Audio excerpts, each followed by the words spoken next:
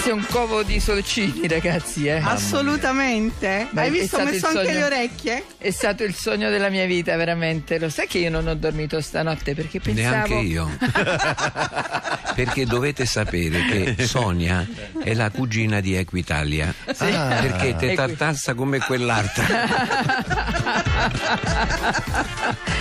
Però cosa. alla fine vince, questo è Sempre. il dato Sempre. eh, eh, ottimale per te, Sempre no? e comunque. riesci sempre a portare a casa Il risultato eh, l'ospite. Mannaggia. Senti una cosa, ma volevo dire questo. eh, ti sto dicendo, è molto emozionata ieri perché.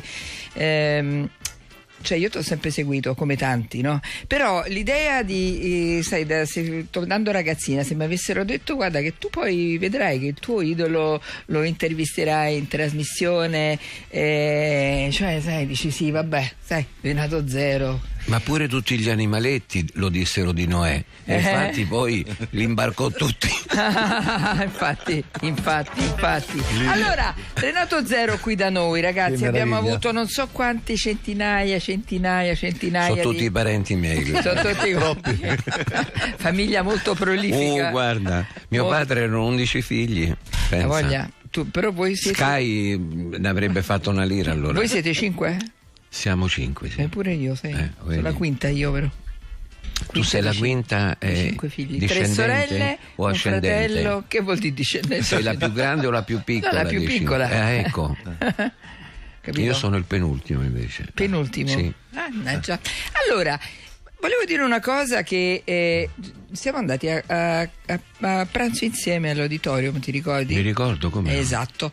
E la cosa che mi ha colpito tantissimo, che mi ha veramente colpito tanto, è stata che tu hai detto sono emozionatissimo per questa... mm, questo tour che dovrò fare perché sai se io andassi a cantare non so in Germania in Francia dovunque farei il mio lavoro di cantante bellissimo eccetera eccetera però l'idea di, di cantare qui a Roma no? e di vedere le nonne i figli i nipoti e io li conosco uno per uno da tanti anni, cioè li ho visti crescere, è una cosa che mi prende il cuore e devo dire che lì mi hai preso il cuore ancora di più perché sei Guarda, fantastico. poi l'effetto non è eh, circoscritto a Roma perché ho fatto già eh, le, le mie capatine a Firenze, a, a Mantova, eh, insomma. Sono tutte facce conosciute, Sì, ecco. sì, ho, ho- no, ho- ho ri- riassaporato anche questo gusto che questa memoria in fondo eh, non ha rughe, eh, Eh, si è mantenuta vivace e austera. E questo credo che vada a vantaggio proprio di un rapporto che ho col pubblico, che è un rapporto eh, non di comodo, è un rapporto dove ognuno aveva bisogno dell'altro, capito? Quindi eh, io sono cresciuto, loro sono cresciuti, quindi abbiamo e io soprattutto ho questa sensazione di, che siano tutti nipoti, tutti fratelli, tutti padri, tutti zii, perché la mia famiglia mi ha dato sempre questa eh, opportunità di, di dare valore a- a- soprattutto al risveglio, quando, quando ti alzi la mattina e, e te- te- sei, sei invaso da sti sorrisi puri, sinceri, no? da questo abbraccio eh, caloroso di, di una eh, bella compagine proprio di, di, eh, sostenitori che sono poi eh, la famiglia, eh, la vai poi ritrovando se fai il mestiere con eh, attenzione, oculatezza e anche rispetto di te, perché poi alla fine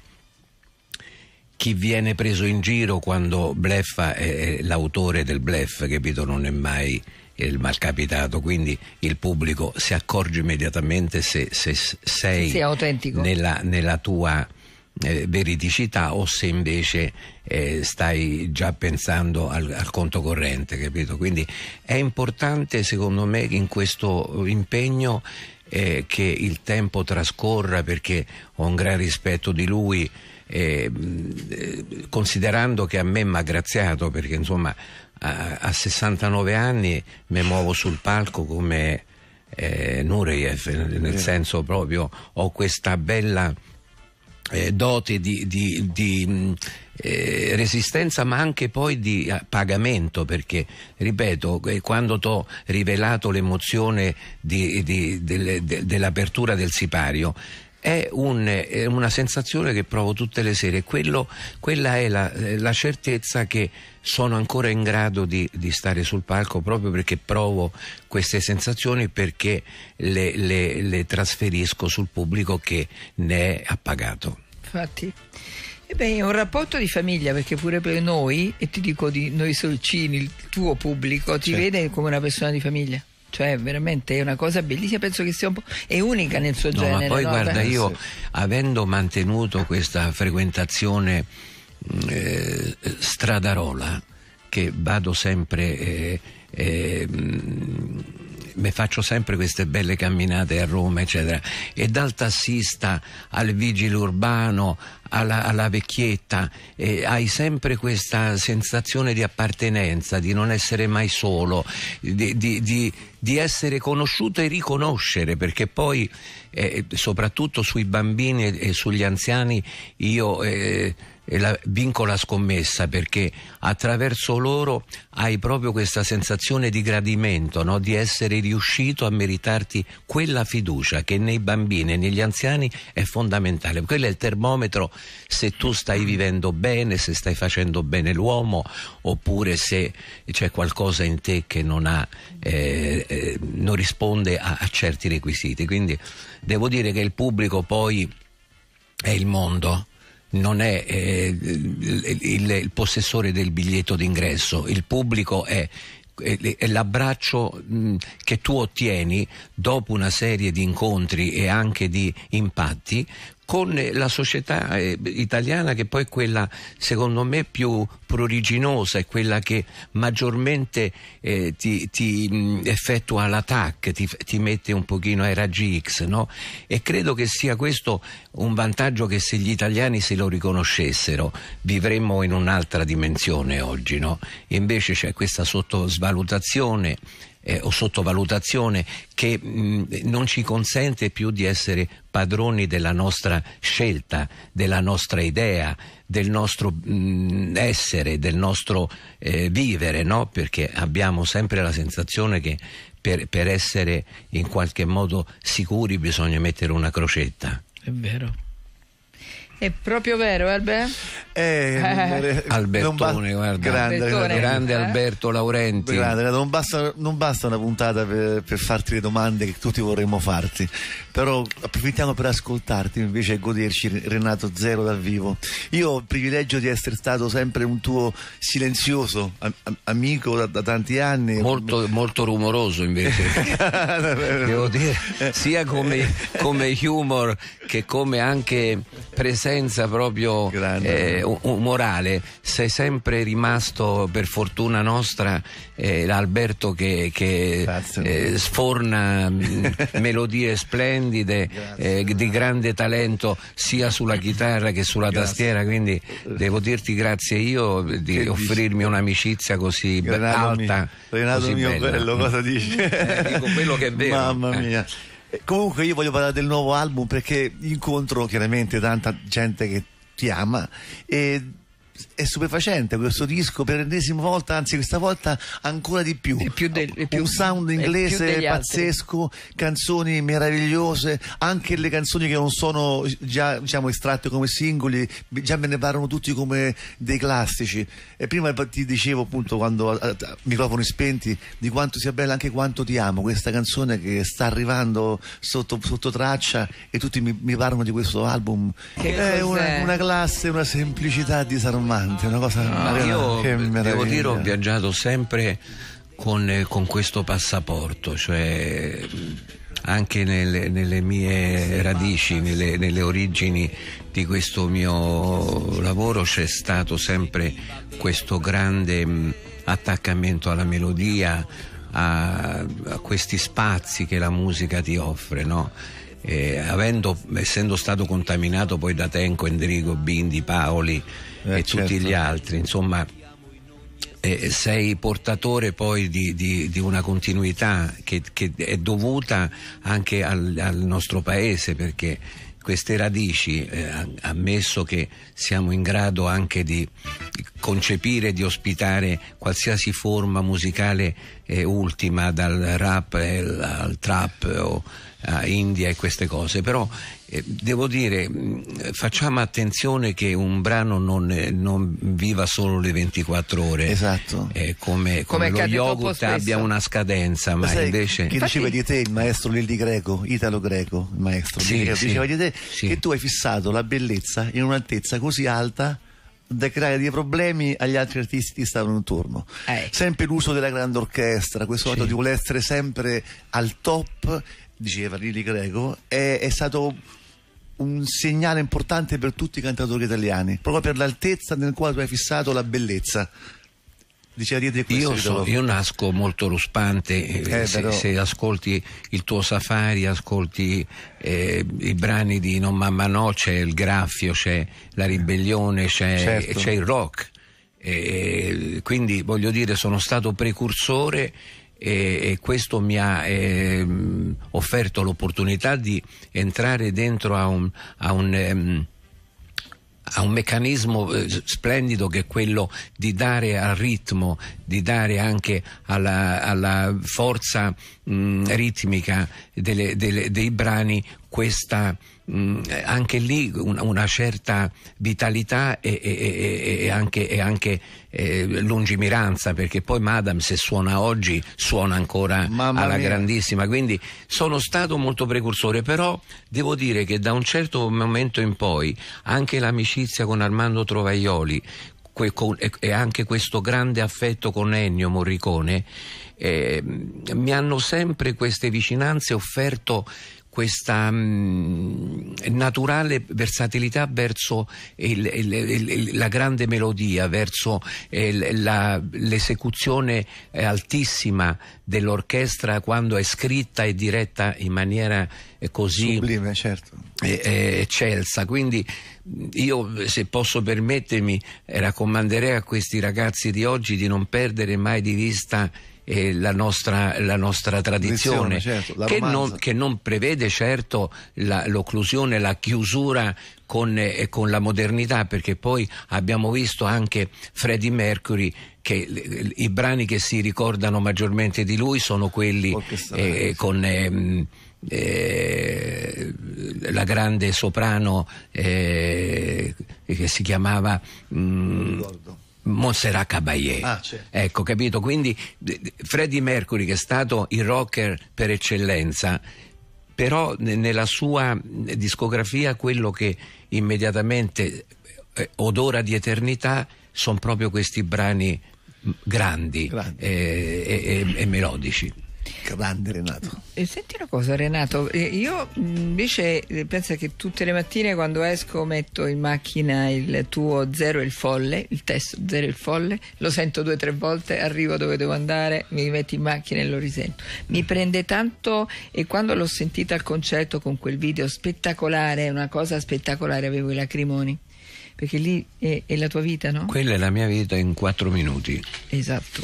Ma come mai Renato palla con Renato Zero? Eh? Cioè, c'è questo, una... questo era uno, un, un- uno scon- incontro-scontro ine- inevitabile perché eh, abbiamo mh, in qualche modo barattato entrambi questa convivenza eh, a fronte poi di un mantenimento della libertà, dell'autonomia.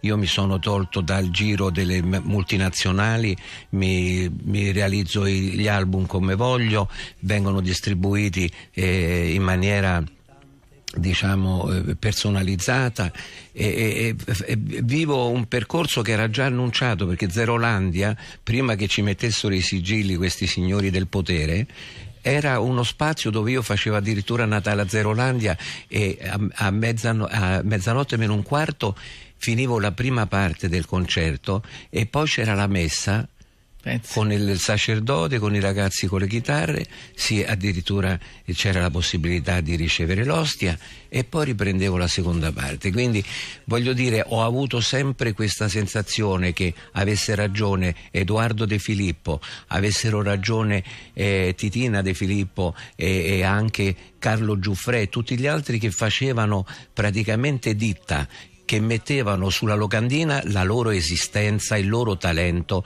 la loro autonomia, che è stata assassinata dal potere e dal consumismo, perché eravamo tutti artigiani, poi improvvisamente qualcuno ha tirato fuori una mazzetta di banconote e si è comprato la nostra indipendenza. Ah. Senti, due consigli dalla regia 3775 104 500 stanno piovendo, non hai idea quanti messaggi Renato. Ma sono tutto sono bagnato stati. infatti ragazzi, Eh, non c'è vedi? un ombrello. Una cosa incredibile. A tra poco. Quanto vi voglio bene. riscoprirò. Ti sei staccato il microfono. Sì, Ti devo sei fatto- il microfono. Devo aver fatto un movimento. Senti, stavo dicendo questo, ti capita la mattina, ti alzi, ti guardi davanti allo specchio e dici però che cosa sono stato in grado di fare nella vita? Anche perché non è che ho avuto una vita facile, poi ne parliamo, lo sanno in tanti, no? Ma Io ci provo, però lo specchio mi fa date una mossa che non si vive de- eh, di solo- di soli dischi d'oro, bisogna mantenere sempre alta la, la- la quota del- dell'impegno e, e anche de- del, eh, de- de- del lavoro proprio, della, dell'effettiva ehm, operatività, perché poi io eh, de- devo dire ho, ho dei vuoti proprio mh, di, di frequentazione de- delle, dell'estate quella vissuta come normalmente si immagina, perché io ho preso l'estate, l'ho messa al pianoforte e con accanto un computer, e, e- e- il computer solo dopo però, perché il foglio di carta e la penna sono la prova inconfutabile che non scrivi cazzate, perché col computer rischi di scrivere qualunque cosa perché poi si cancella, invece sul foglio rimane solo la verità. Quindi queste stagioni senza rimpianti, c'è dentro spiagge, c'è dentro eh, cercami, ci sono dentro dei titoli che uno dice Pesanti, ma eh, molto pesanti." perché non sei andato a fare il bagnetto eh, a Porto Cervo?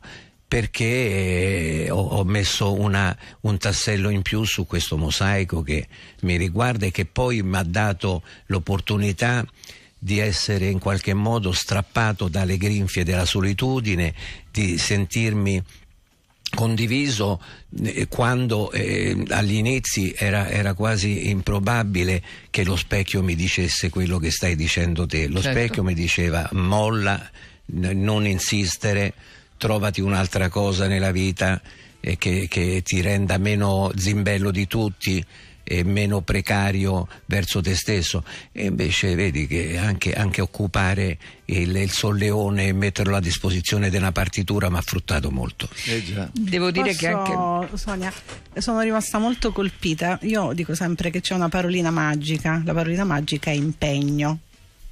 Quindi che risuona, cioè nel senso che l'impegno poi diventa fondamentale, contrariamente a quella che è l'immagine che si possa avere, cioè che tutto accade così in maniera semplice, in maniera facile, che si portano a casa i risultati quasi magicamente. I risultati che si ottengono invece, e credo che questo sia importante sottolinearlo per chi ci ascolta, è proprio frutto di impegno, di sacrificio, perché anziché andare a Portocervo io sono stato lì a produrre, insomma. Però c'è un lato del nostro paese che è, è- è molto, mh, eh, diciamo, mh, discutibile.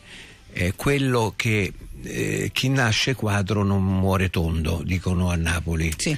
E questa è una roba che mi ha sempre un pochino ferito perché io so- sono saltato da- dalle tavole del teatro tradizionale a quelle della sala eh, prove eh, dagli Oyals a queste sale prove de- per i ballerini insomma mi sono mosso in diversi fronti no? proprio per avere poi una completezza armonica e anche sinergica delle mie attitudini e delle mie eh, possibilità Solo che, ripeto, non ti viene perdonato in questo paese il fatto che tu possa in qualche modo anche ogni tanto eh, portare il tuo mh, peso specifico verso un'altra eh, eh, tipologia di, di arte e, e di, e di, mh, partecipazione, no?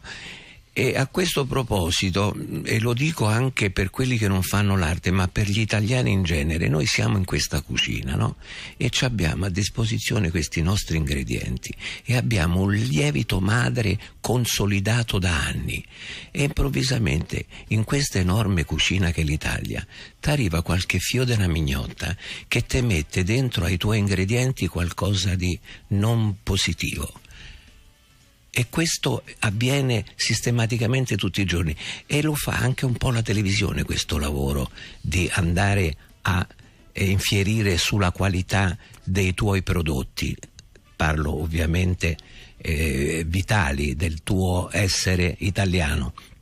E questo credo che sia drammatico, dobbiamo difenderci da queste provocazioni, dal fatto, da queste dottrine definitive di un vivere che deve essere in qualche modo eh, rapportato al consumismo, al, al, al, al dare i voti a, a casaccia oppure a, a, mettersi sempre a disposizione di qualcuno che ti offre una via d'uscita ma il, il prezzo da pagare è sempre estremamente salato e questo devo dire si, si riversa anche su, sulla mia cucina anche sulle mie modalità di cucinare, perché l'artista è il primo a risentire di un malessere eh, nazionale, perché noi cantiamo, è vero, la felicità, ma il più delle volte a me invece è capitato di cantare la sofferenza perché è quella che maggiormente viene presa in considerazione. Parliamo anche delle donne di quello che avviene in questo paese, che è indecente che una donna che, il, che forma un numero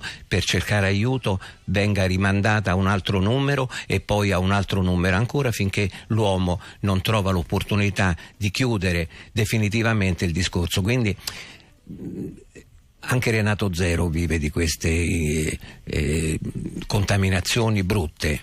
Quindi io ecco, da, da questo momento prometto che sarò ancora più eh, diciamo impegnato proprio nel, nel, nell'utilizzare le mie note proprio a favore di un riscatto che sia eh, impositivo perché ripeto il nostro lavoro è un lavoro eh, di felicità perché arrivare dove sono arrivato a questi abbracci a, queste, eh, grandi, a questa grande fiducia che mi viene attribuita mi consente eh, maggiormente di, di, adoperarmi proprio per, perché la qualità delle mie opere sia all'altezza delle aspettative.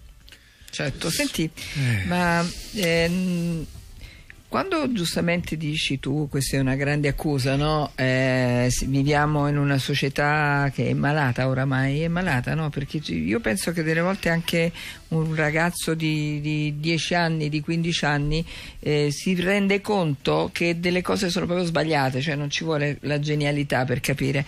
E quindi dobbiamo anche pensare che... Ehm, è un po' colpa nostra, cioè la nostra generazione è poco poco quella che ci ha preceduto che è riuscita a distruggere il tutto, no? Perché non, non c'è più il valore della famiglia, non ci sono più valori, non c'è più niente. E poi se vogliamo parlare di politica, ma trovi tu che eh, c'è qualcuno che pensi al bene comune?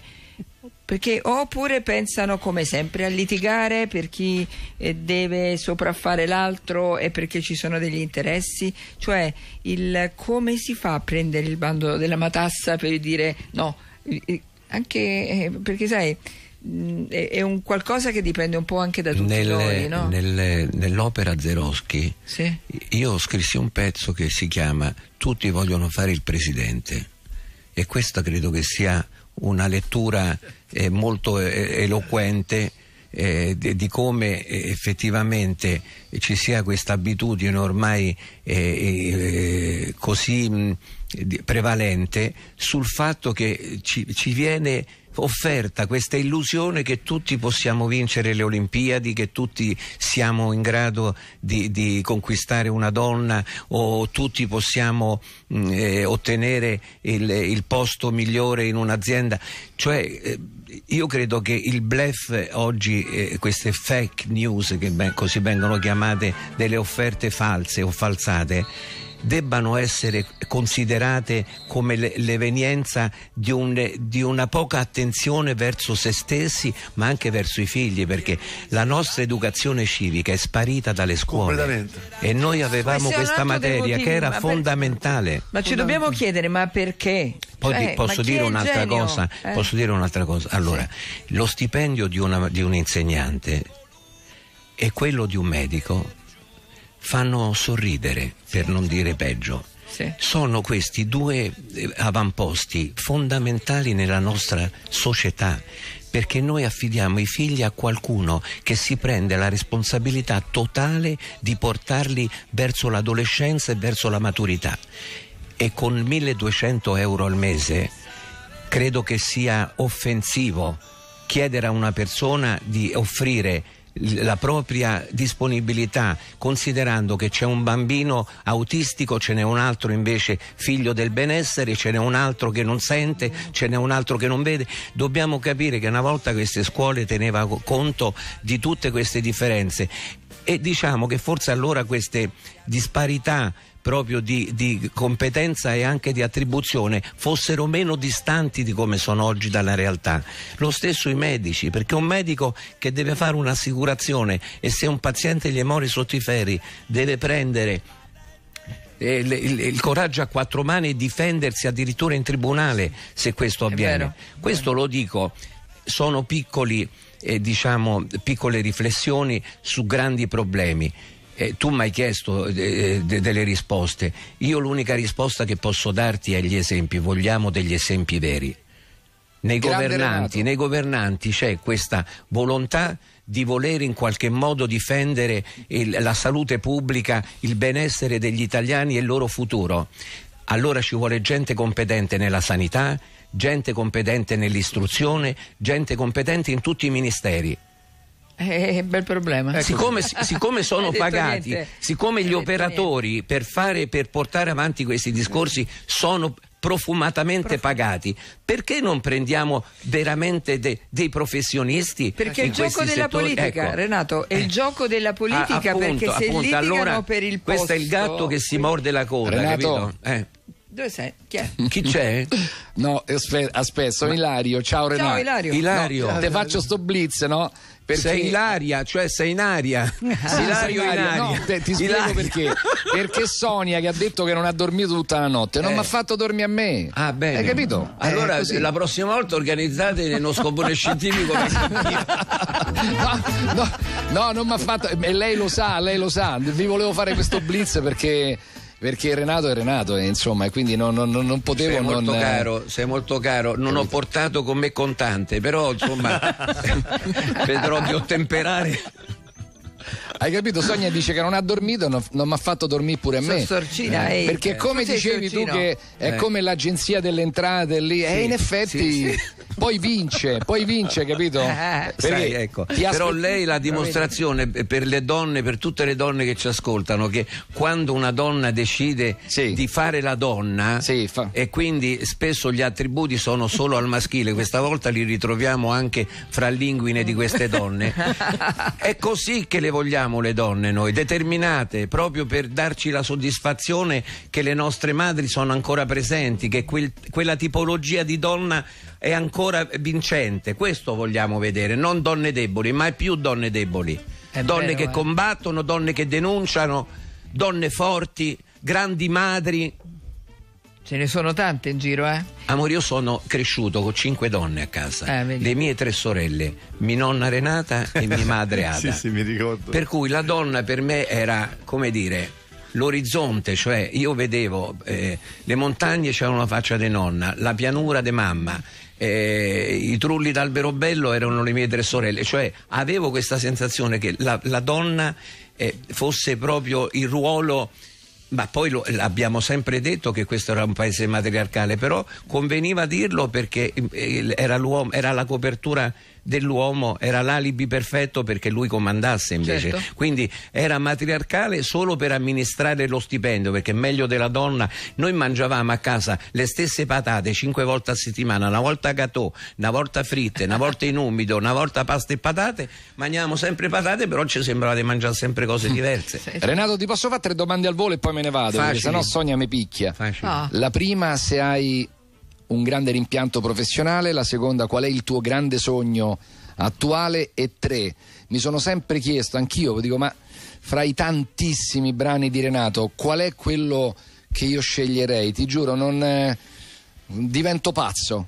A questa domanda non, non so cosa rispondere. Tu sapresti rispondere qual è il- la tua brano- canzone? Il brano è il prossimo. Il prossimo. È sempre il prossimo. Sì. E poi le altre due domande, scusa che... Se hai un rimpianto professionale e qual è invece il tuo grande sogno di oggi? Ma il rimpianto professionale io non credo di averlo perché ho praticamente passato al setaccio tutte le problematiche del mondo, ho cantato la guerra, la pace, l'amore, eh, il rimpianto. Il rimpianto poco, devo dire, l'ho cantato poco perché non- non ho stima del rimpianto perché è un sentimento perdente, è un sentimento eh, che, che non deve eh, proprio far parte di un vocabolario. E poi mh, eh, devo Il dire sogno. che, eh, come ho detto prima, eh, sono riuscito anche ne- nelle piccole porzioni della mia vita ad essere un grande ballerino. Ho ballato persino con Jimi Hendrix al Teatro Brancaccio di Roma. Ero uno degli otto ballerini che aprivano il concerto di Jimi Hendrix. Quindi lì ho dimostrato il ballerino. Ho lavorato con Ivo Chiesa eh, al Teatro Stabile di Genova, nell'Anconitana del Ruzzante con la regia di De Bosio. Ho fatto il primo musical in Italia che era Orfeo 9 con Tito Schipa che fu un successo straordinario che ancora oggi fa tremare dalla bellezza e, e soprattutto dalla verità. Ho fatto Hair, il- la versione italiana di Hair, il musical. Ho doppiato ehm, eh, Jess Skeleton eh, nel film di Tim Burton e ho avuto il plauso addirittura di Danny Elfman, che era l'autore delle- della colonna sonora, nonché l'interprete originale. Quindi ragazzi, eh, chi, vuole, chi vuole un santo se lo prega, nel senso che volere è ancora potere. Grande Renato. Grande, un Grazie, bacione. Renato. Renato. Ciao. Grande, ciao. grande. Ciao Renato. Ciao Ilario. Certo che arrivare a... eh, incredibile la tua vita perché tu eh, da Via di Ripetta ti sei, che Via di Ripetta per chi ci ascolta da, da varie parti d'Italia è un po' il, il centro di Roma È la culla una- di Roma, è sì, la culla sì. di Roma quindi un posto così poi ti sei figlio di un carabiniere tuo padre è stato Poliziotto. tras- poliziotto Se no si offendono eh, sia i poliziotti che i carabinieri. C'è una lotta tra carabinieri e poliziotti, è vero.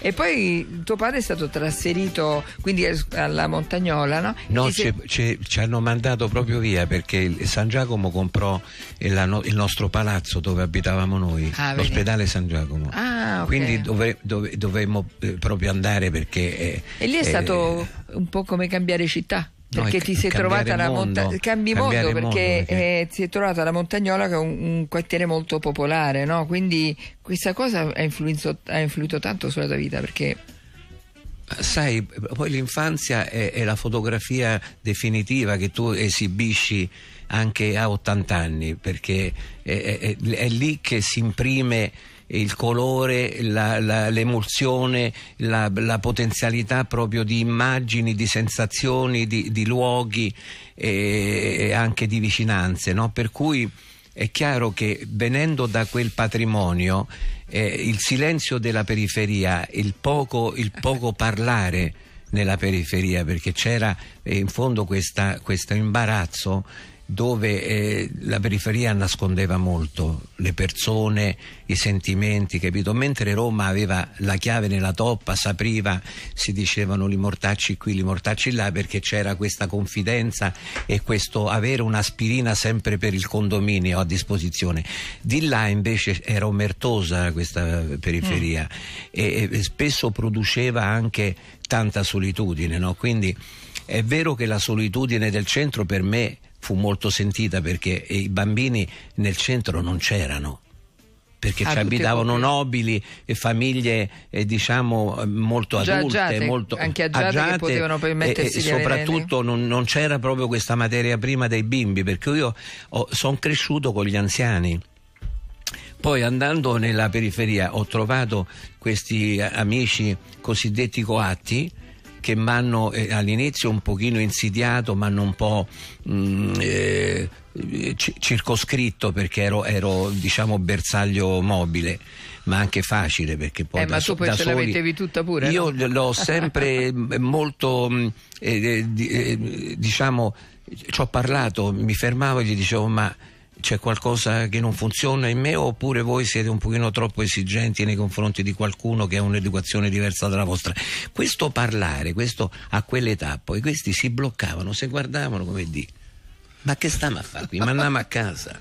E quindi io eh, non solo, non solo portavo eh. a casa la pelle, ma addirittura questi alla fine... È un amici tuoi. Ma questo è simpatico, sto ragazzino, sto ragazzino è un fenomeno. E allora vedi Quinto di Tormarancia, che purtroppo non c'è più, e tanti altri amici della borgata. Addirittura quando c'è un problema, Renati, chiamaci che noi interveniamo. Erano le mie guardie del corpo, cioè pensa come si può delle volte anche guadagnare un territorio senza raccomandazione, senza vicinanze. No, ma ti senza... posso dire una cosa: in questo, periodo, in questo periodo, dove l'arroganza la fa proprio no, da regina, no? E dove c'è tanta violenza verbale e non solo, cioè il, il, concetto di dire scusa, parliamo con calma, ti faccio capire, cioè li estesi tutti, no?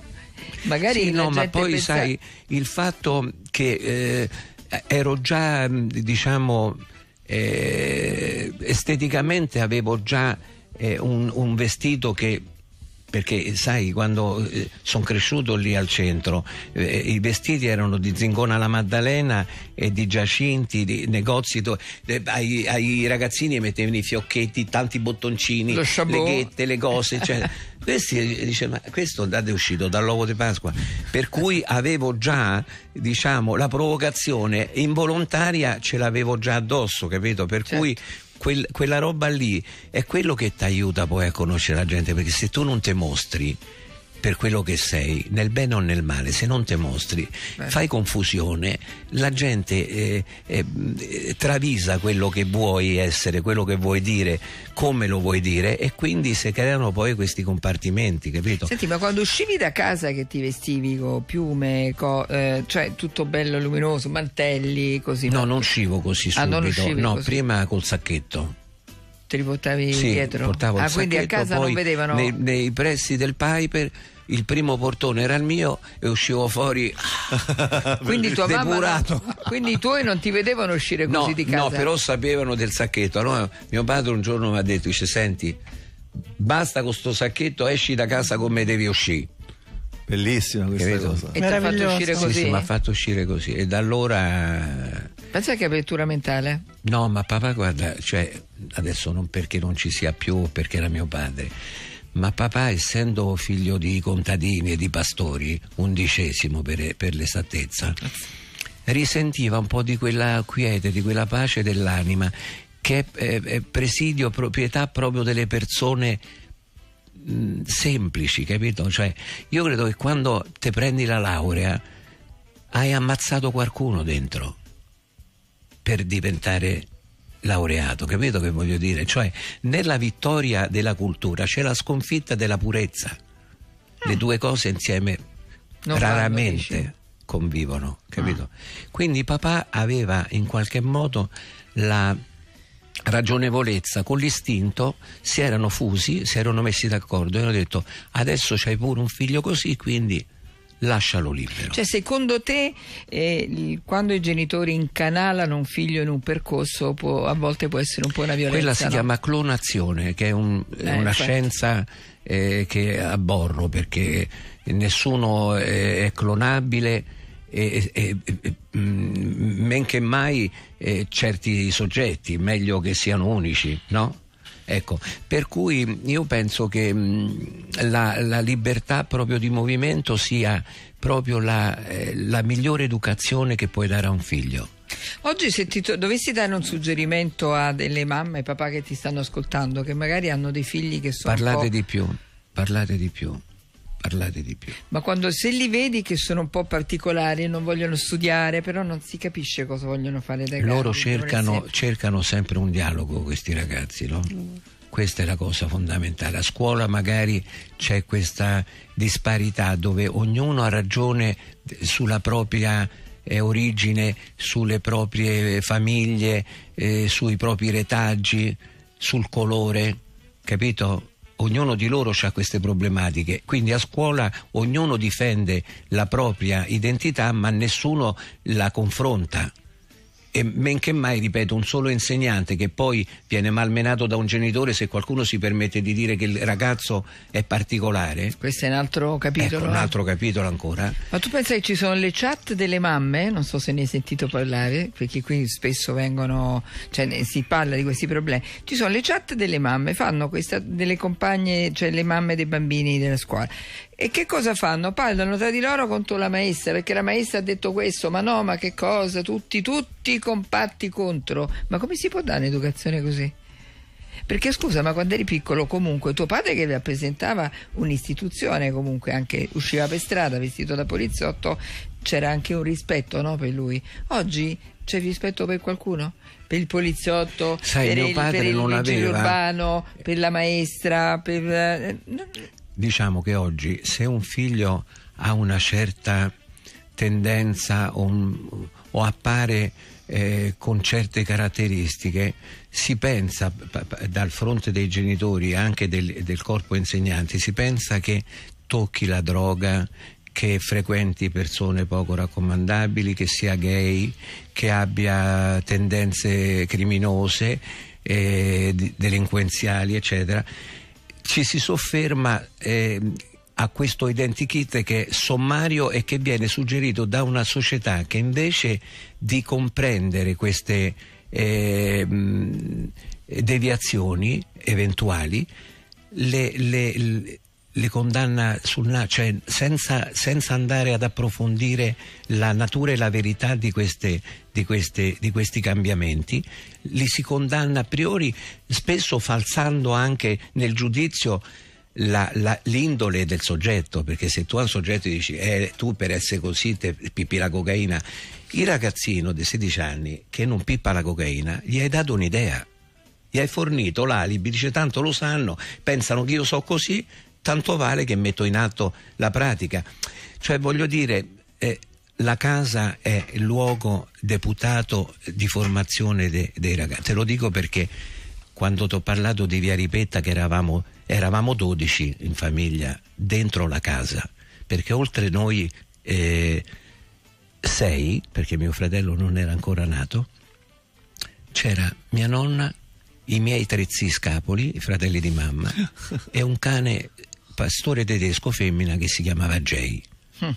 Quindi eravamo questa bella caserma e sai questo, quest, questa fortezza ti garantiva de, de, delle spalle così forti, capito? Una copertura così totale che quando uscivi non ti fermava nessuno, capito? Voglio dire, questa, questa consistenza sono anticorpi, è, è, è, è palestra mm, diciamo mh, ipotetica, nel senso che la muscolatura e l'ossatura te la fai anche così, non c'è bisogno che vai a iscriverti. Se tu hai una famiglia dietro che, che ti sostiene, che, che, ti, ti, che rafforza le convinzioni che sei una lavagna bianca che vuole essere scritta, il padre e la madre sono i primi a scrivere sulla lavagna, ma gli ultimi a giudicarla. Certo, giusto e non è sempre così. Allora Renato ci stai dando proprio una, delle veramente Mamma mia, delle... io delle volte mi sconvolgo, dico ma, ma, che, ma che esci da questo corpo. Mamma mia, che bello. Senti, due consigli per gli acquisti a tra poco Renato Zero.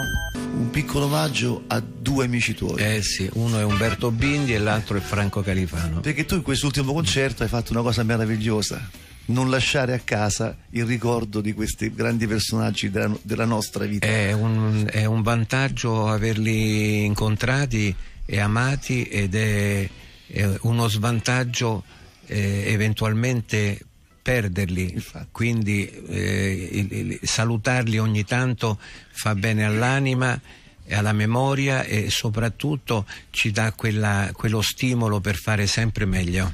Che bello vederli in quel maxi schermo. Bello, sì, Eh, è emozionante. È stato Emozionante. un bel bene. Senti l'amicizia, eh?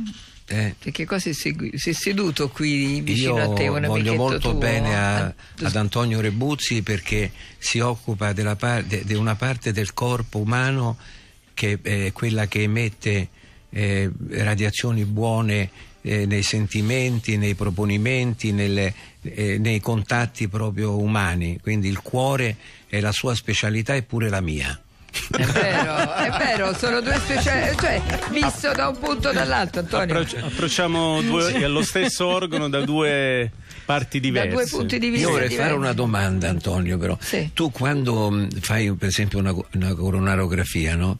E vai e vedi l'oggetto, eh, eh, que- questo diamante dentro all'uomo, no? Mm. Riesci a capire se quell'uomo, il grado d'amore che, che può produrre o di, invece di indifferenza? No, diciamo che quando approccio quell'organo in realtà devo stare attento ad altro perché altrimenti Certo. faccio un guaio. Ehm, diciamo questo che nella cardiologia un cuore molto grande è, è malato quindi mi auguro di trovare sempre Eh, cuori ma piccoli. potrebbe essere, scusate, dico una fregnaccia, ma potrebbe essere malato anche perché ha amato tanto, per quello si è ingrossato. Assolutamente Nell'attesa sì. anche di Come no? essere corrisposto, Sì, sì. si ingrossa, si ingrossa, ma lei ne arriva. Quindi è un ingrossamento a fondo perduto. Può pure E per questo capitare, è patologico può pure capitare che poi vai a cercare il cuore e non lo trovi. Cioè, quello, lo- quello è seria come cosa perché lui sicuramente eh, tira- mette sottosopra il gemelli per cercare quel cuore, non tutti quanti. L'hai visto? No, ne è passato uno adesso, ma non inseguo. nome e cognome. Senti, amici, i tuoi amici, cioè Sono quasi tutti dottori. eh.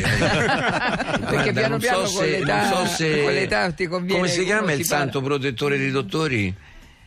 Come no? non lo so San Bisturi.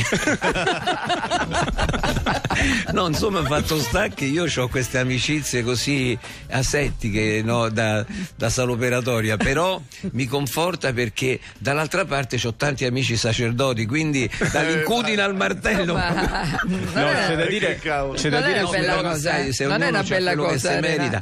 Eh no, che ne sai, può darsi pure che io ci ci abbia in fondo una missione che devo. Vedi, il fatto che con le canzoni riesco a, a tirare fuori dalle, dalle persone eh, il coraggio, spesso anche la speranza, e lui fa la stessa cosa, quando mette uno stente li fa volare. li riporta in careggiata quindi abbiamo eh, vedi perché c'è questa similitudine nell'amicizia fra Certo. me e un medico che facciamo la stessa cerchiamo di, di rallegrare eh, la vita degli altri, di renderla ancora più eh, lungimirante e anche più, più fattibile, insomma, no? Senti, ma a parte la famiglia, nel momento in cui eri Renato Zero, prima ai tempi, eh, amici, perché tu eri molto anomalo, oh, oddio ragazzi. Però eh. ho avuto tanti amici anche, Ecco, quello- anche perché poi il Piper favoriva questa mh, e- e condivisione, no? perché eravamo tutti figli in fondo eh, non solo dei fiori, ma figli anche di, una- di un rigetto, no? di, una- di un sospetto. Quindi quando arrivava il carrettone eh, noi ci infilavamo dentro direttamente perché ci eravamo un po' scocciati che questi non avessero capito che eravamo sempre quelli e saremmo stati quelli per tutta la vita, quindi è inutile che ci porti al commissariato tutte le volte. Che per- tuo padre ti per fare trovava- che? Per che tuo padre- dimostrare che eh, il manganello è più forte de- del- della fantasia, della genialità. No, quindi entravamo dentro, poi questi si sono talmente scocciati che entravamo da soli che non sono più venuti perché avevano perso la guerra. Cioè, ci sono arrivati, beh, andiamo a fare No, ma la, sai la cosa molto divertente? Che c'erano delle signore lì de- de- giù del tagliamento di piazza Verbano, di quei posti lì, che arrivavano, pass- passava il, il tram, eh, l'autobus, e queste vecchie da casa avevano messo l'acqua dentro queste sacche di plastica e ce le tiravano dal finestrino. Ah, Capito? capito. Ci facevano il gavettone, pensa, ma non ragazzine, avevano 80, 79, 50, 62. Perché cioè, eravate ragazzi persi, considerati proprio non lo so, ragazzi ma insomma, persi. guarda, sti bagni così, devo dire, a noi eh, non ci schiodavano, vedi, siamo stati in quello una generazione ostinata e abbiamo fatto bene a rimanere. E i tuoi fratelli non ti hanno mai seguito?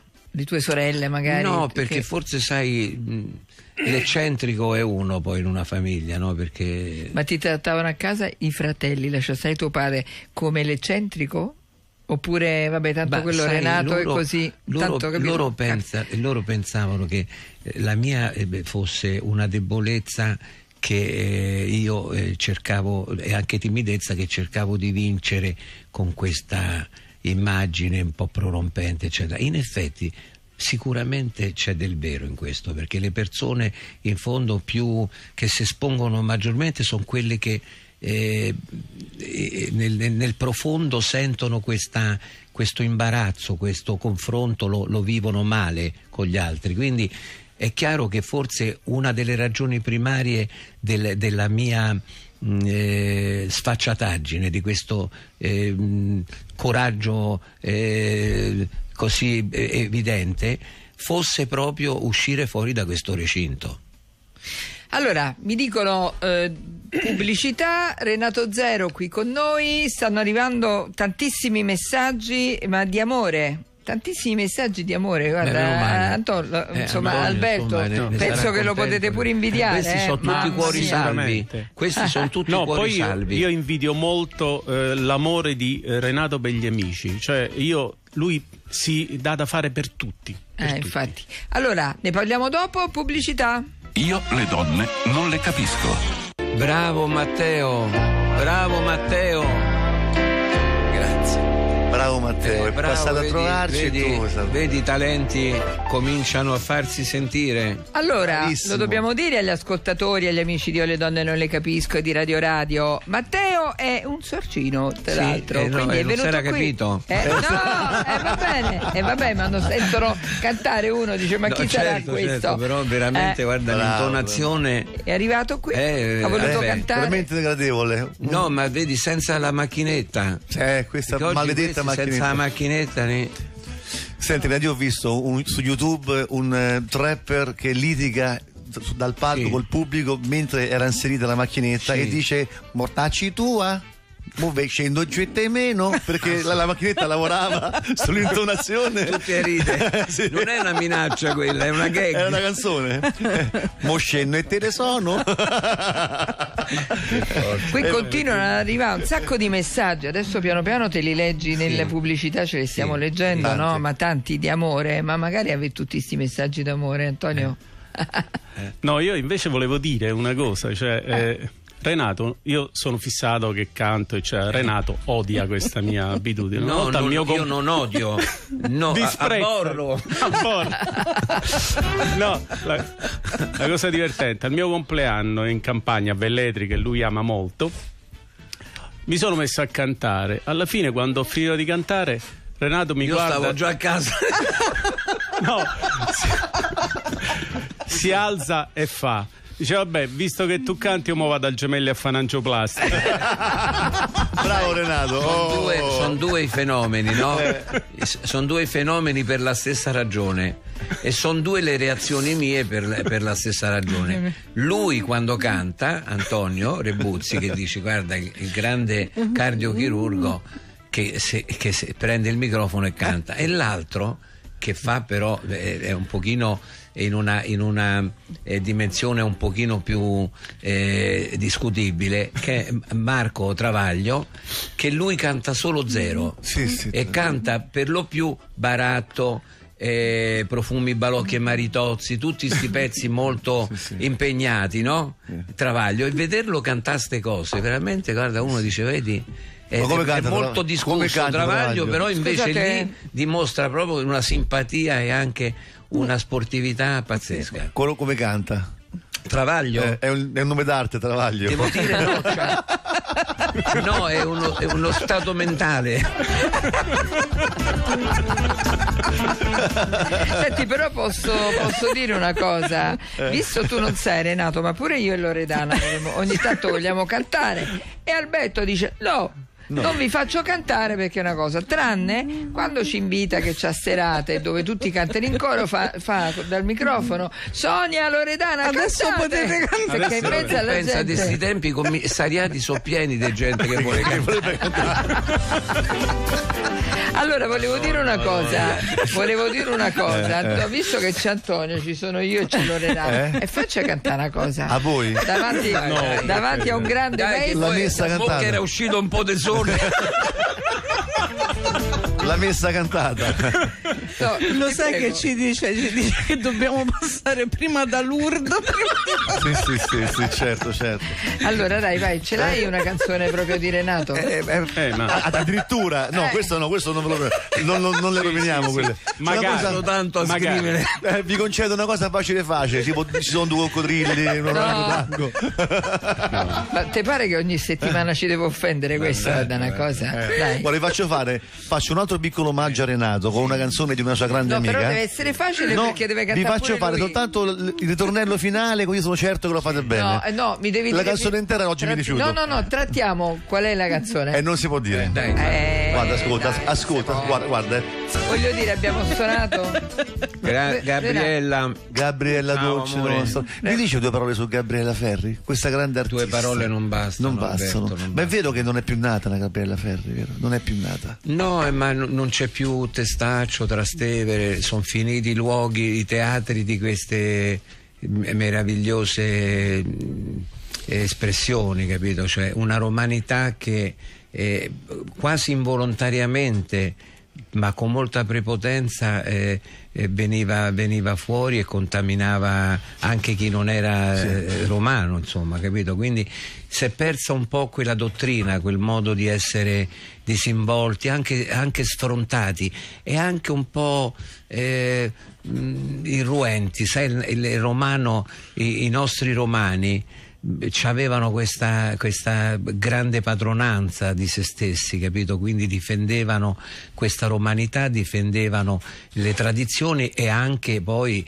eh, il, il- il palcoscenico ideale per la romanità erano i parcheggi, perché tutti quelli che hanno cantato Roma sono passati attraverso la, la trafila dei parcheggiatori, perché se volevi sentire eh, cantare romano vero con quelle cadenze, con, quel- con quello spirito, dovevi fermate a un parcheggio dove c'erano questi co- o con la fisarmonica o con la chitarra che intonavano questi pezzi. Poi insomma Gabriella veniva anche da una eh, realtà come quella del padre che era suo, anche lui era poeta. un, un poeta e un musicista, quindi eh, gli ha trasmesso evidentemente questa, questa verve, questa, questa- anche questa, questa poesia, questa bellezza, perché Gabriella era bella anche se non apriva bocca, Mamma era mia, proprio eh, il teatro, era proprio il- questa forza espressiva, eh, al di- ripeto, al di là di quando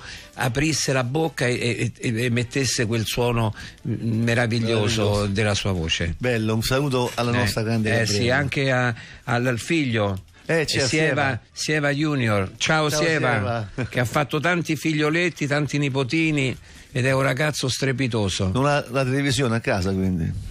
No, non l'ha, Non ha non l'ha voluta mettere, però insomma fare. eh, devo dire che sai, eh, eh, oggi spaventa avere un figlio, pensa farne, eh, credo che lui sia a 5 adesso. Ah, che meraviglia.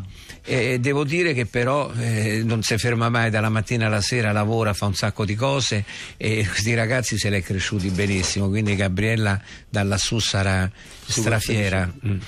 Qui mentre voi parlate di cose serie, ci passiamo il Radio Radio Caffè. Stiamo usando la radio eh, impropriamente, come direbbero i No, Rai, eh, ma no? questo, non è, questo è un salotto, capito? Però Questo insomma, voglio dire, caffettino. gli- i nostri amici eh, vanno ricordati come Chiaro. eh, nelle nostre consumanze. Costumanze si dice, vero? Costumanze. Senti, c'è una ascoltatrice che ti ha scritto Renato sei il mio cardiologo del cuore. Ah ecco, Rebuzzi, puoi pure andare a casa. Ma manco come cardiologo funziona più. No, guarda, non sia mai che abbandoni la, la postazione perché sei talmente bravo e, e perfetto. Stavamo parlando dell'amicizia, hai detto che è generoso, lui è molto generoso, ma Sì. si vede. Sì, sì. No, ma eh, non è solo questo. Adesso a parte, eh, io mi ricordo che eh, lui abitava prima eh, vicino casa di mia madre.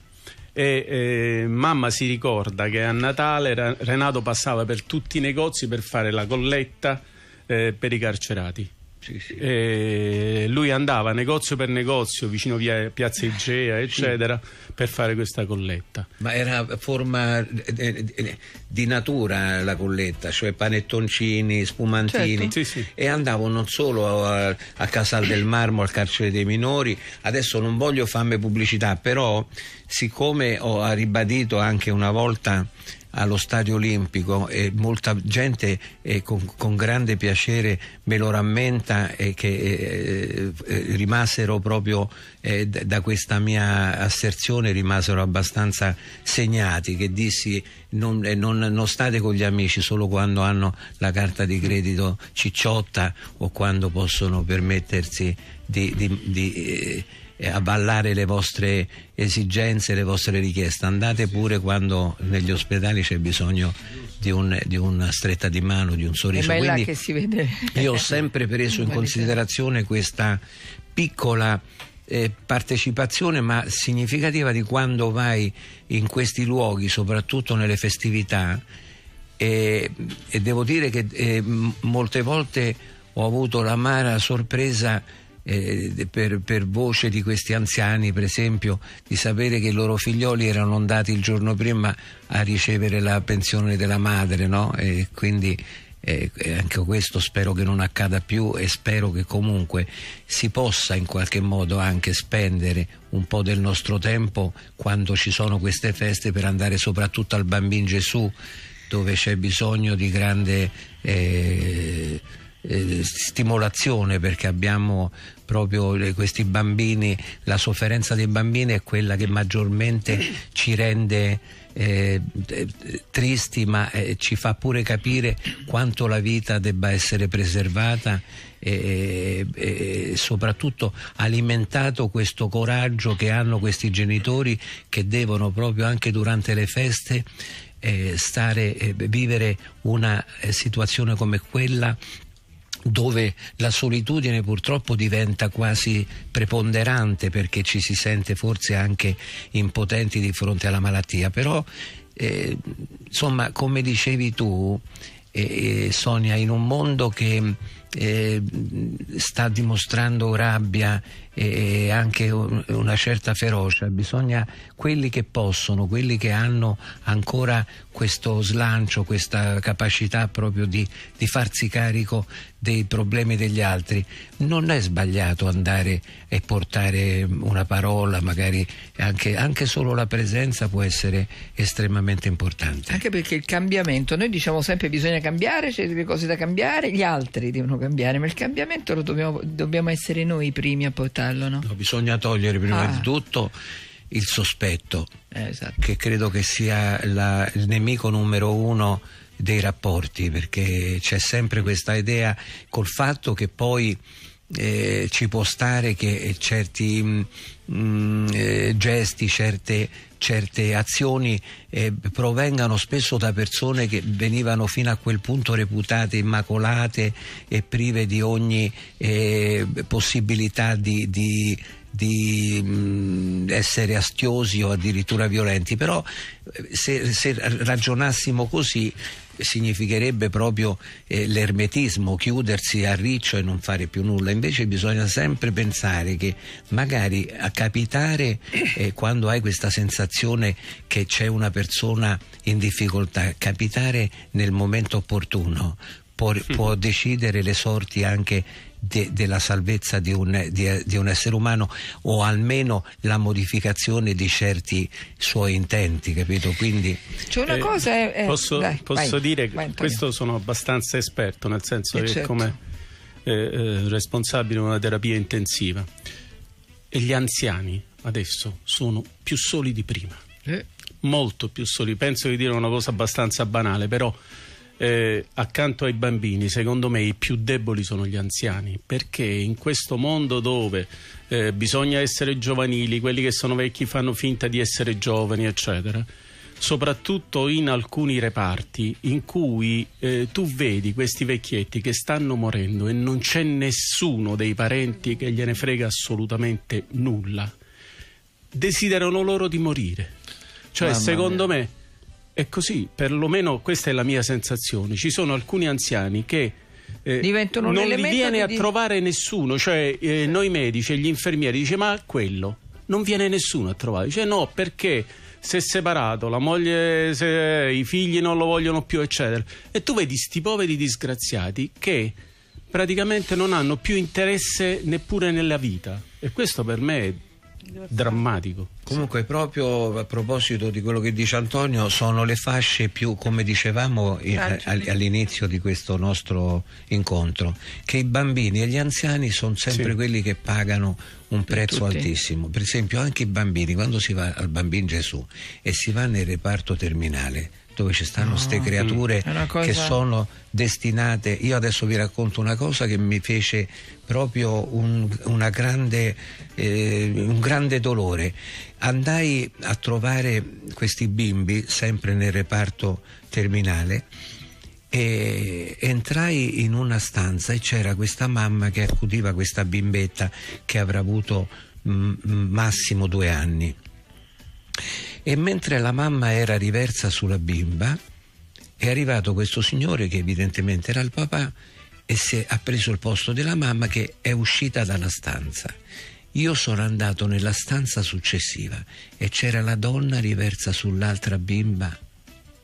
Quindi erano due gemelline che andavano via insieme. Mamma e questa cosa a me mi ha raggelato perché ho detto guarda que- questi poveri genitori che devono patire, cioè quando il destino veramente è, è di una crudeltà, perché quella non è una coincidenza, è un fatto talmente inumano, capito?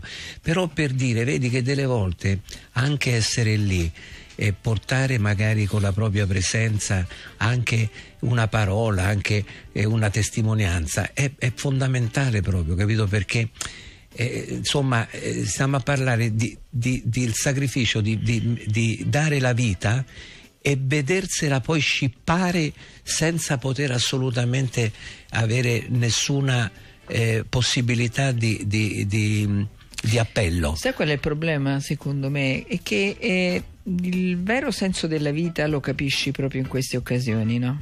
E se la gente sapesse che il vero cioè, c'è gente che vive di fuffa, no? Lo dici Sì, pure sì, tu, sì, no? eh, Vive di no, superficialità, di cose oggi e così, ma se si rendessero conto che poi quando prendono entrano nel problema familiare che li colpisci, vedi che barcollano, però poi dopo vi prendono la vecchia strada E, e continuano imperterriti. Cioè, si è, si è- ce lo può dire più Loredana anche. eh, siamo poco fo- focalizzati sul vero senso della vita, su come bisogna godersi le piccole cose, no? Perché si va sempre alla ricerca di qualcosa, eh, cerco, mi devo divertire, devo fare questo, devo fare quello. I valori non esistono più. Capire che oggi ci siamo, domani non ci siamo. Una telefonata detto- in più a papà, valla a fa- falla, no? Perché non sai mai domani che può succedere. Sai che mi ha detto più di una persona di una certa aut- aut- autorevolezza perché certe frasi vengono da, non necessariamente dall'alto di una grande cultura, ma s- sicuramente dallo spessore umano di qualcuno. E più di qualcuno mi ha, mi ha fatto questa, questa osservazione, mi ha- mi ha- mi ha voluto puntualizzare questo, che il dolore va dove lo possono sopportare. Ed è una cosa che ti fa riflettere perché se, se noi guardiamo bene che gli stolti, la gente superficiale, anche i figli di puttana godono da bene. salute de ferro. va sempre Ma bene, è chissà che non sia una punizione quella, capito? Che tu devi assistere al tuo declino, Sì. all'espiazione di tutte le malefatte che sei stato in grado di produrre e questo campare fino a 90 anni possa essere la punizione proprio più atroce perché credo che sia così che alla fine eh, un essere umano che non ha eh, rispettato certi valori e certe regole più, più campa e più sapia quel posto. Esatto. Due consigli per gli acquisti, Renato Zero, tra poco. Artista immenso, io sono una piccola artista che ti ammira e ti ama da sempre. Sono ora al Sistina con Mary Poppins nel ruolo della vecchietta dei piccini. Saremo felici di averti con noi quando vuoi venire, ti aspettiamo. Anch'io viaggio sempre con un ombrello. Mary Poppins era mamma mia. Il cambiamento? Il cambiamento per me è Renato che ha dato forma alla mia vita, colore, amore alla mia vita. Pensate, lo ha fatto senza che io lo sapessi e ora può chiedermi tutto, amore oltre misura. Mamma mia, Renato. Non, Ciao Renato. Non ci hai mai negato la favola, mai. Non ci hai mai negata a cito nessuno. una tua neanche voi canzone. l- l'ispirazione per poterla interpretare. Cito una tua canzone, non fosse stata musica a guarire i silenzi miei, non starei qui a difenderti, non ti chiederei di credere in lei, lo sai. Grazie Renato, mi hai risparmiato tanti soldi di analisi e mi hai insegnato due cose. A dire a povera Loredana. Signora, capito? lei è disoccupata da adesso. Quindi abbiamo capito una cosa, che oltre ad essere un cardiologo meraviglioso è anche uno Sai, psicanalista. io adesso eh, eh, eh, tu sei qui e io se fossi un politico me me starei zitto, ma devo dire che io questa psicanalisi l'ho combattuta con tutte le mie forze perché mh, ho sempre ritenuto che in qualche misura abbia condizionato anche la decisione di sanità e di, di rivisitazione di se stessi come eh, diciamo eh, analisi pri- primaria invece prima bisogna mettere un pochino d'ordine quando uno fa la cura dimagrante non è che devi andare dal dietologo prima ti devi in qualche modo cominciare a privare degli zuccheri di, il pane di, alcune, eh, di, di alcuni cibi dopodiché quando sei un pochino più asciutto vai dal dietologo ti puoi far mettere il palloncino fare la riduzione dello stomaco però devi in qualche modo anche in primis essere tu a, a fare la scelta e ad iniziare un percorso. no? La stessa cosa vale con il vostro lettino. Non è che voi siete la salvezza del mondo e molta gente non lo deve credere questo perché se no che cosa fanno? Si adagiano eh, sul lettino ma ci si adagiano in maniera eh, forse troppo copiosa. Prima del- di arrivare al lettino devi fare tu un- mettere un pochino d'ordine quando eh, ti si presentano poi eh, eh, ovviamente tu trovi più facilità anche nell'andare a, a- a perlustrarli, a cercare le ragioni di certi malesseri, di certe convivenze con il loro ego, no? Però prima bisogna operare noi, secondo me, dimmi se sbaglio. No, eh, quello che dice è sacrosanto, nel senso che anche quando arrivano no, a studio persone, Sì. arrivano con Vogliono il consapevolezza. miracolo poi, capito? Il miracolo non si, non si ottiene da- da- dall'analista, No, si ottiene da noi stessi consapevolezza prima. è dentro esatto. di noi. Infatti, Oh, l'arte meno dell'analista male, è maieutica, eh. Eh. ti aiuto a tirar fuori la verità che è in te, vedi? ma non posso sostituirmi a te. Assolutamente. E quindi, quando c'è già un percorso di rielaborazione più facile, È come la- cattolo- il cattolico col prete, no? Dietro alla grada ci vai, ma se dopo fai peggio di come hai fatto prima di inginocchiate, eh, sei un paragnosta. Eh, scusa, per non dire francesismi. Senti ancora, eh, ma guarda, come vorrei essere lì, Venato se la favola mia, Katia da Roma. Scusa Sonia, io non l'ho mai fatta davanti a Renato, ti dispiace un attimo. Al- Una cosa al volo così, scusa. Però la cantiamo noi. Non è possibile, non è possibile. È pronta, È guarda. inedita. Mannaggia No, no, no, no. No. L'ingegneria genetica di un fiore, l'influsso della vita e noi. Chiudi gli occhi, il cielo adesso nasconde tutto il blu nel fondo di un amore da buttare.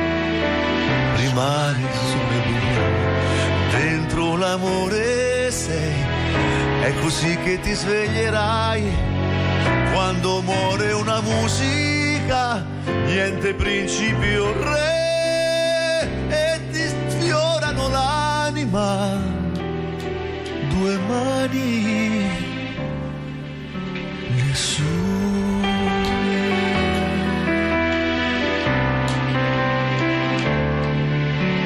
Chissà se c'è. Renato Zero, Laurenti, Franca Evangelisti, sì. nel fondo di un amore. È la prima volta che te la canto. E io eh, eh, credo che sia una delle seconde volte che la sento da te, perché la prima era soltanto eh, Where is light and rain and light, cioè. Grande. perché noi facciamo, non lo sa molta gente, Non lo sanno, che no. noi usiamo l'italianese, che sarebbe inglese italianizzato, per quando non si ha il testo, se comincia a blaterare questa, Fanagano questa, way. questa sinfonia de- dei nonsense e poi sopra ci vanno le parole, eh, capito? Bello. Grazie Renato. No, grazie a te di avermi Grazie, fornito Renato. foraggio. Grazie Renato. Renato, ma ti stai divertendo qui in questo salotto? si vede? Perché è la tua prima volta, ah, la tua Mi prima volta messo qua da pure in noi. ghingheri perché c'era pure la telecamera, ho detto dico Hai eh, capito? Fammi fa bello, capito? Eh, certo, Eh? eh. Senti, allora mi sta facendo segnale di là Luciano che dobbiamo andare in pubblicità 3775 104 500. Mentre siamo in pubblicità vi prometto, perché le promesse si Liberatemi! che, che, eh, insieme. aiuto! leggeremo che eh, Venato leggerà i vostri Dottoressa! messaggi. A tra poco. Si prenda cura del mio cervello! Io le donne non le capisco. Scusate, volevo dire Grazie, una cosa, ma eh, mi dice, ma non, non ho mai sentito, eh, mi, mi dice Sonia, pronti per il coro, mi metto le cuffiette e tutto, ma, ma come faccio a fare il coro? È difficile. Ma questa è napoletana, eh? Sì, ma Una è provetta- difficile. Una provetta ci vorrebbe però. La, prove- la provetta. la provetta c'è lui. Cioè, vabbè, dai. No, è, oltretutto è difficilissima. Eh, eh, ma lui lo fa perché così Lui lo fa uno apposta. sbaglia, Sì, uno sì, sbaglia ho capito. dice, Per mettere. Professore. per mettere in imbarazzo Ah, le ci voluto bene a te, tu mi hai voluto bene a me, o non ci amammo più, ma hai voluto tu, distrattamente me.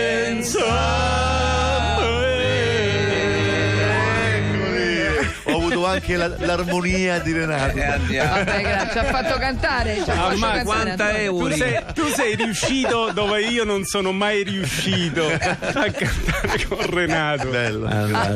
Senti Renatino, dai, eh, abbiamo ancora poco. Il eh, Roma, cioè uno cammina per strada e c'è una buca, eh, c'hai i topi dappertutto, ci sono i Che non sono cinghiali. i sorcini, eh? Che non sono i sorcini, Ci abbiamo i Io cinghiali devo- in giro che devo- tu esci e ti in devi questa difendere. occasione Eh. devo fare eh, una sorta di ehm, dichiarazione proprio di eh, un chiarimento diciamo no? in questo senso no? che c'è sempre questa- questo desiderio da parte di, di questa classe dirigente politica di eh, andare a guadagnarsi la poltrona. Quella del comune di Roma non, non ci corre nessuno ad aggiudicarsela, no?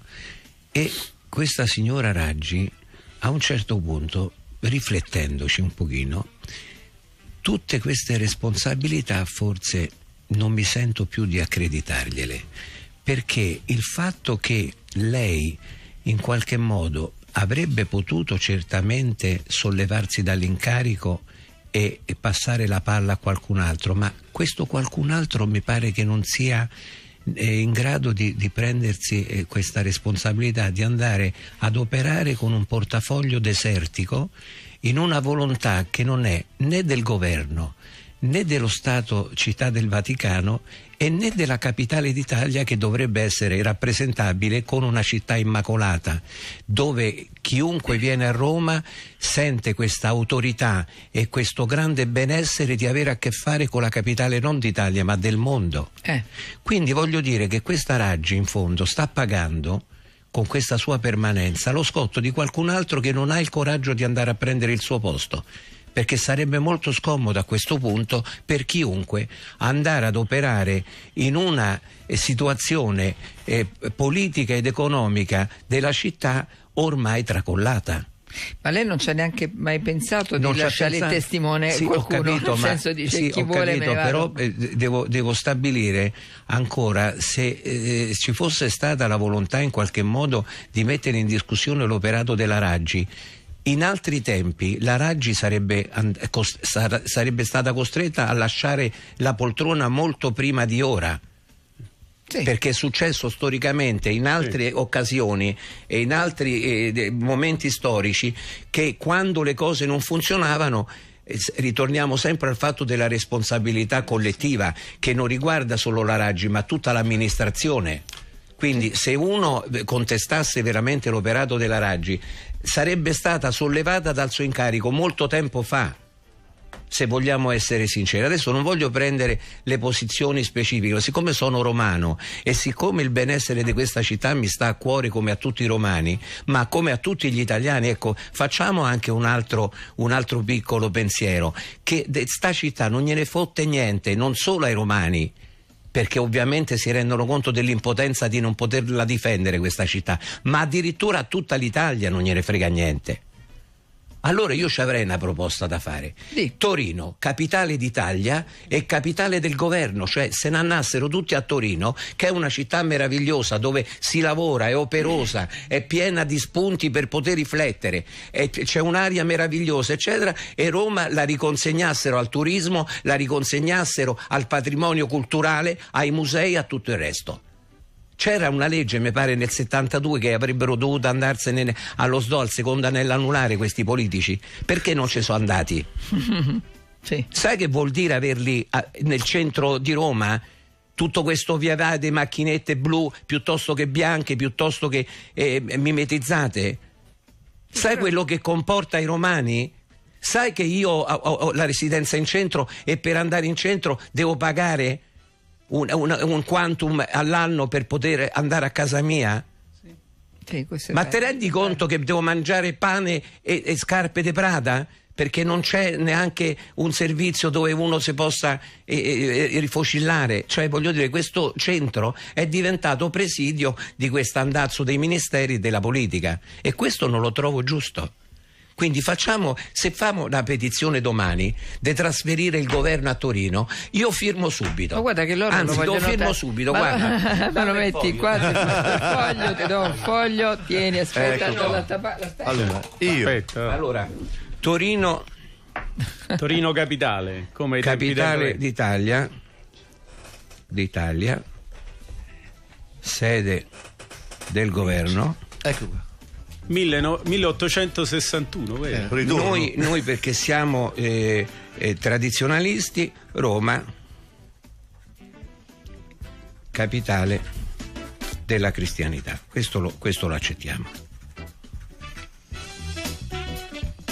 Renato Fiacchini manco Renato Zero, così siete sicuri che so io. Ragazzi, questo Ragazzi, è incredibile, questo lo diciamo è un documento. Però okay. Renato volevo dire, al di là di Torino, e già si stanno trasferendo tutti a Milano, cioè gli uffici più importanti. Oramai Milano ci sta svuotando, eh. Ma Milano sta facendo un lavoro molto in, in, intelligente e furbo, eh. e anche furbo. Eh perché questo, questo, portare a Milano ulteriore foraggio, ulteriore energia, toglie al, al, al, meridione d'Italia, cioè tutto quello che va nel nord viene tolto come, come eh, prospettiva al sud d'Italia, perché a Milano il lavoro si trova di più, nel sud non si trova. A, a Milano eh, c'è più controllo, a Milano non c'è una carta per terra, è tutto ordinato, non c'è una buca. Cioè, voglio dire, se, se, se, qui stiamo tornando eh, eh, pericolosamente a, a, questo settaggio del paese, cioè chi nasce, chi sbaglia culla, qui sa piander culo, si dice a Roma. Sì, sì. Eh, quindi stiamo attenti a non fare l'errore poi di allontanare ancora di più questo sud, che, questo meridione d'Italia che ha fra l'altro, se vai a vedere le lauree che vengono de- eh, distribuite in questo paese, la maggior parte sono targate Calabria, Sicilia, Puglia perché so quelli che studiano di più e so quelli che si... Che, e, e, questa è una cosa che ho verificato, per esempio, capito? Ma l'Italia è tagliata in due. No, in tre è tagliata eh. invece, eh. addirittura in tre. Mo fra un po' sarà tagliata quante eh, ragione. siamo? No, centro e sud, del sud e del sud. Io poi sono napoletana, figurati come Antonio, come Antonio, lei è pugliese. Eh. Però il problema è proprio questo. Io una volta, eh, quando è stato di recente, ho preso un treno per andare in Calabria, no? Allora, fino a Napoli, fino a Salendo sì. c'è l'alta velocità, poi puoi morire. Penso eh, perché il treno incomincia a ballare tutto. Le, le mie amiche calabresi mi hanno detto ti raccomando raccomando portati una xamamina, qualcosa per non soffrire il treno. Come soffrire il treno? Perché non ci sono i binari giusti per Eh, il ma- treno, cioè è proprio è tutto, fe- cioè il sud Ma a non Roma- esiste, a ma Roma l'Italia pure- non può a essere Roma solo pure anche da Napoli a, a. Bari è un problema. Bravissimo, cioè, Cioè, fino a Bari c'è stiamo- l'alta velocità. Stiamo facendo alta Cioè, poi- velocità, poi la a Taranto tappa, la no. tappa, eccetera. per andare da Napoli a Bari si va su un binario, cioè è allucinante. Comunque l'Italia sa da fare. Eh, Ancora? Sì, ma il problema- Disse qualcuno. Ancora? Però Renato, il problema, io penso, eh, che eh, sicuramente gli incapaci che sono adesso al Renato Presidente Roma- della Repubblica. No, no, per scritto. carità, no, no. Gli incapaci che sono adesso eh, al governo eh, eh, dipendono anche da quelli di prima, perché se quelli di prima fossero stati minimamente onesti o capaci, non si sarebbe eletto a eh, requisito fondamentale un prerequisito, cioè tu per governare devi essere una persona onesta e questo è il prerequisito. Invece parecchia gente adesso è andata al governo con l'unico titolo di essere presunto una persona onesta.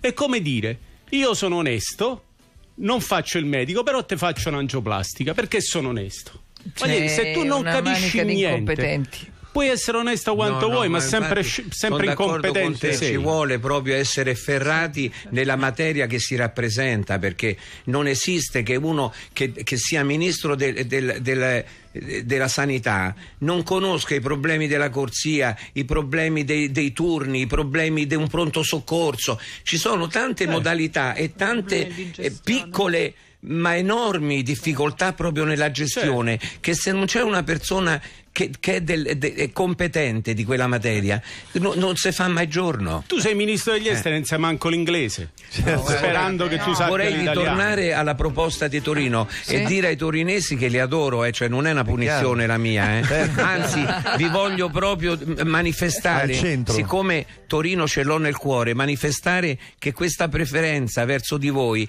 è perché eh, eh, Torino sembra, sembra Parigi quando era Parigi, però non adesso. Cioè avete guadagnato proprio questa bellezza, avete rispolverato la vostra storia, la vostra emancipazione. Quindi eh, eh, non ci starebbe male il governo da voi, lo dico non per prendere delle distanze dal pensiero, ma perché abbiamo bisogno proprio di, di certezze, abbiamo bisogno che ogni cosa stia al posto suo che merita. L'Italia deve, deve ritornare nel mondo ad essere l'Italia. Basta con le multinazionali e, ri- rimettiamo fuori questi artigiani, riviviamo di quello che siamo capaci di fare nel turismo, nel- nella- nel- nell'imprenditoria, quella diciamo, io per esempio le marche, ci sono questi che fanno le scarpe nelle marche, che, queste fabbriche che stanno lì, se le fanno ancora a mano, eccetera. Questa, questa nostra realtà che sembra piccola, ma quando andavamo ad addizionare queste piccole realtà diventava l'economia del paese. Ma sti mari e queste spiagge, ma le vogliamo riconsegnare al turista? Era la fonte maggiore insieme all'agricoltura e, e- e- alle bellezze del- della nostra storia. Anche questo mare era fonte proprio di grande riscatto per l'Italia. Ritorniamo a fare quegli investimenti lì invece di fare i ponti che crollano. Senti, però voglio dire una cosa. Il fatto che secondo te debba essere trasferito a Torino Sì. il tutto è un grande fallimento per Roma perché non è riuscito No, a gestire no, no, non è a gestire quello che ha. No, Dai. no, è una Eh. liberazione per Roma e non Eh. solo per Roma, ma per la storia, capito?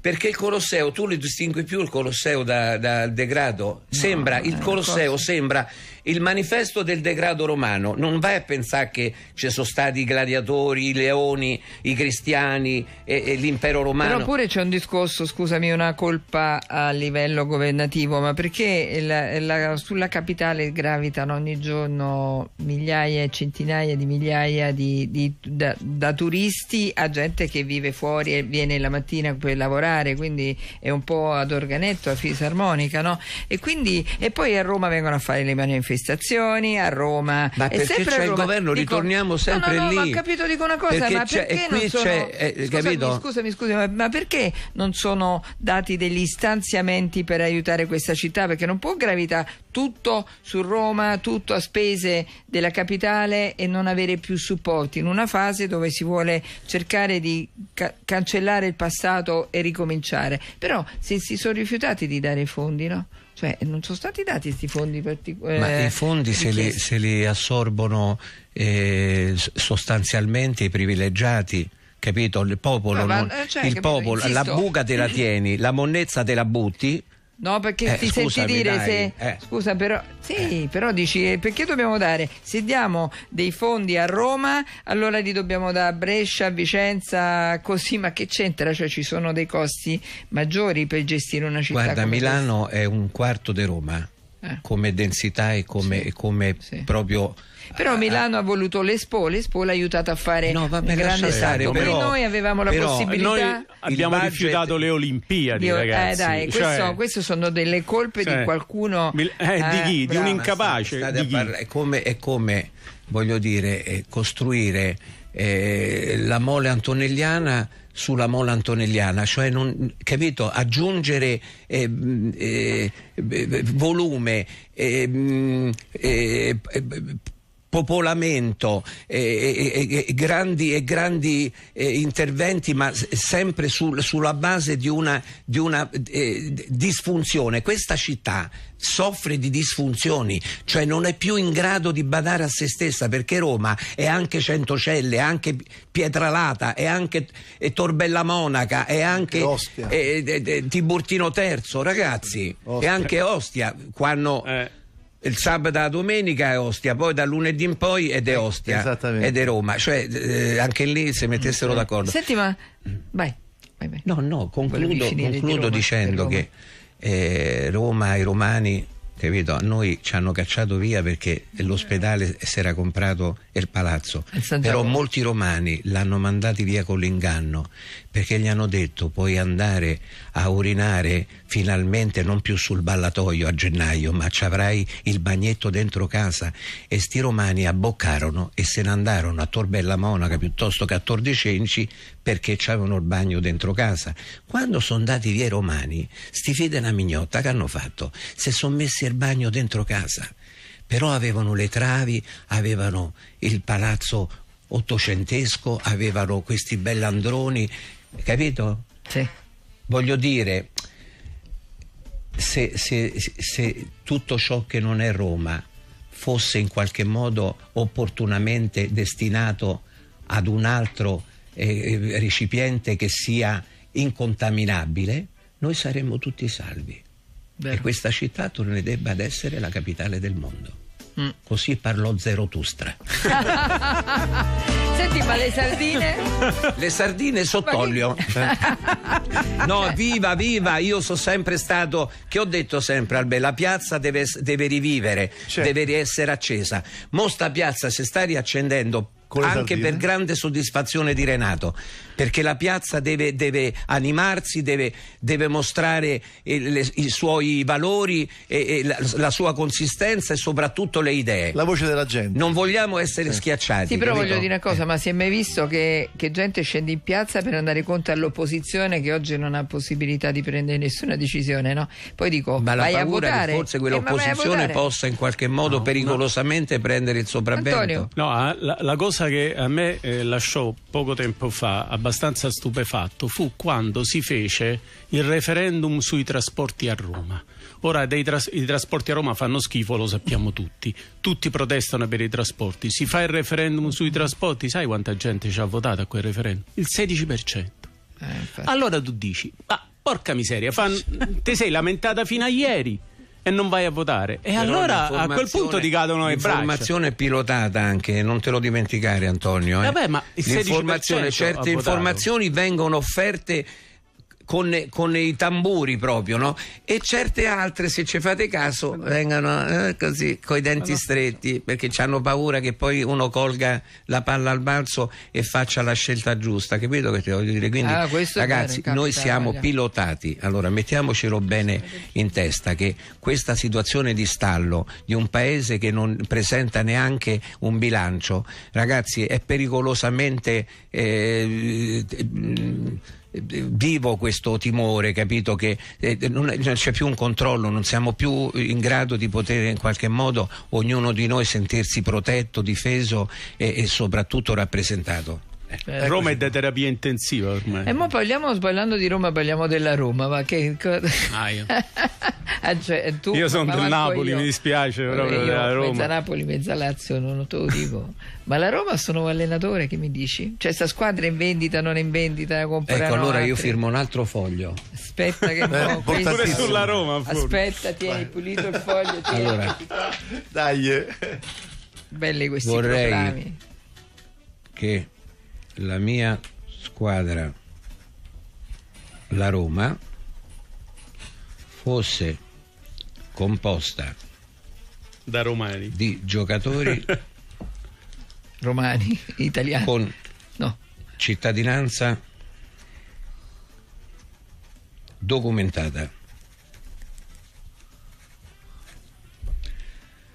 Anche se, pensa, di colore di pelle diverso, perché ci stanno tanti Certo. romani. Arena di Ah bello! Sono scuri. certo. Quindi voglio dire, sono più romani di te e di me. Esatto. Firmato Renato. Beh, ecco qua, il secondo documento Sì. ufficiale. C'ho pure, Oggi c'ho pure so- da cambiare. Ma Mi voglio rovinare, come dicono quelli i piazzisti, no? Non per cento, non per mille. Gratis. Bello Renato nostro. Grazie Renato, Amore, mamma vi mia voglio che regalo a che ci hai tutti fatto e oggi. soprattutto a questi microfoni aperti in tutti i sensi, no? Perché insomma anche ormai eh, Qui siamo rimasti quello che pochi vuoi. eh, che Quello pu- possiamo, dire quello che vuoi, è possiamo eh, sbandierare i nostri pensieri, le nostre esigenze, eh, la nostra personalità, qua- qualsiasi eh, cosa abbia il sapore dell'autonomia e della libertà. Esatto, io non te la faccio la domanda se le donne le capisci, visto io le donne non le capisco. Le donne, le donne le capisce chi eh, riconosce quegli uomini che riconoscono eh, in sé quella porzione di ormoni femminili che serve proprio a ed equilibrare la ragionevolezza, il rispetto e la volontà di eh, considerare le donne alla nostra stessa stregua. Bello, bravo, bravo. Allora, eh, volevo dire ai tantissimi, perché tu devi sapere che ci sono adesso in trasmissione sono arrivati tanti messaggi, ma sapessi centinaia e centinaia ci sono arrivati nella posta privata del nostro blog, io le donne non le capisco. Io te li faccio pervenire perché li dovrei leggere uno a uno, perché Me li mandi veramente- però a, a blocchi perché te li mando viene- a blocchi perché, viene perché veramente perché Daniele D'Arieti, roba. Tiziano da Eh. Cave Saluto eh, ma sono tutti, siete stati meravigliosi a scrivermi Parmiglio. perché questo mi, dà- mi offre la, la sensazione di essere ancora utile, di poter in qualche modo con la mia modesta opera di eh, stimolare anche un po' eh, la, la- la giustezza eh, de- della società e, e motivare bene le nostre eh, finalità. Perché in fondo io ho fatto la terza media e non, e non più e delle volte veramente mi guardo a quel famoso specchio che hai detto te e mi faccio sta domanda ma dove la imparate tutte queste cose? La e io è- mi rispondo dal marciapiede Chiede, certo. Certo. Tu hai dato tanto ai tuoi succini. E loro hanno tantissimo. dato tanto a me. Mm. E io quello volevo sapere. In- Ti hanno dato affettivamente, ma ti hanno anche, come dire, eh, nella vita magari ti sei trovato di fronte, anche nella vita di tutti i giorni, a dire faccio sta cosa. No, capito? E poi no, perché altrimenti deluderei i miei. Cioè, Io non eh, ho fatto cose per fortuna, non ho fatto mai scelte eh, non confacenti a- al, al pensiero che eh, andassero poi rivolte verso il pubblico, verso gli altri, capito? Quindi, Quindi loro ti ho hanno sempre tenuto, pure, ma no? delle volte ho fatto anche delle, delle, delle, scelte azzardate come Zeroschi che sta 30 anni avanti rispetto Vero. a qualunque forma di spettacolo in Italia. Però l'ho voluto anticipare sta cosa anche perché ho quasi 70 anni e, e mi ripropongo di rompere proprio le scatole eh, ad oltranza perché de sta in panchina non ce n'ho nessuna voglia e non voglio dare ai miei detrattori nessuna possibilità di, di sentirsi vincitori, perché chi vince è Renato tutti i giorni quando incontra un pentagramma, quando ha qualcosa da dire, quando assorbe da, dalla strada gli umori de, della gente e riesce con fedeltà e senso civile della vita, del vivere, riesce a consegnare intatte quelle che sono le problematiche e le speranze della, dell'Italia. Ragazzi, Renato for president, eh, devo dire. No, devo dire a quelli che mi hanno costretto ad abbandonare il banco dopo la terza media.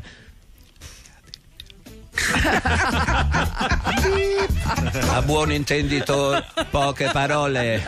Ragazzi, se sei stanco terminiamo la Se sei trasmissione. stanco ti tirano le pietre. Non sei stanco ti tirano qualunque cosa fa. Qualunque cosa ti tirano. Dovunque te ne stai, tu sempre pietre in faccia, sentirai. Perfetto. Allora, Marta, mi porti le magliette? Marta, porta, porta pure Porta una bella pasta e fagioli che ora. Guarda, c'è uno che ha scritto che ti voleva fare la pasta e fagioli. Amore, se- capiti proprio Renato. Acceso Chiamo di o a fagiolo? Scusami. Ah. Stavolta mi hai fregato, guarda. E mi ci sono alzato pure presto stamattina Hai per capito? farmi fregare da te. Ma Hai guarda capito? che impunita. Mannaggia. Ah, Sta arrivando la maglietta perché sai. Bene, bene. Zero il folle. Zero il folle, ma siamo tutti folli, quindi mo sì. chissà che si inventerà nel futuro. Fa vedere. Oh, che bellezza, guarda. Ah, guarda, questa Eh. per te se vuoi quando esci per Roma, se ti va, Eh. Eh?